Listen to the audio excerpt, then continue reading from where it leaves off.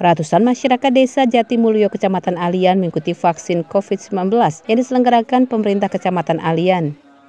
Kegiatan digelar usai sholat taraweh di Pondok Pesantren Al-Hasani Selasa 12 April 2022. Kepala Desa Jatimulyo Wahidun Kusnianto mengatakan vaksinasi ini merupakan program taraweh keliling pemerintah Kecamatan Alian di mana untuk pelaksanaannya melibatkan tenaga medis puskesmas dan jajaran Forkopimcam.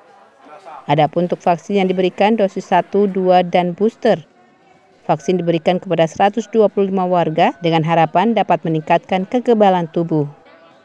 Kades menjelaskan untuk vaksinasi booster di Desa Jatimulyo sudah mencapai sekitar 50 persen. Untuk itu ke depan vaksinasi akan terus ditingkatkan agar masyarakat segera terbebas dari penularan virus COVID-19 malam hari ini untuk dosis 1, 2, dan 3 terfasilitasi di sini dan malam hari ini yang sudah divaksin uh, sudah sampai 125 peserta.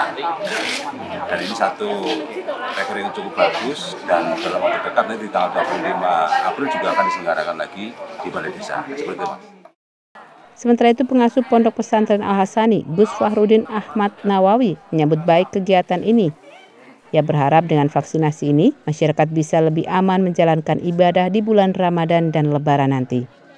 Harapannya dengan adanya vaksinasi tersebut bisa menambah kekebalan tubuh bagi masyarakat, apalagi ini menjelang Hari Raya Idul Fitri yang tentunya mobilitas masyarakat akan banyak sekali.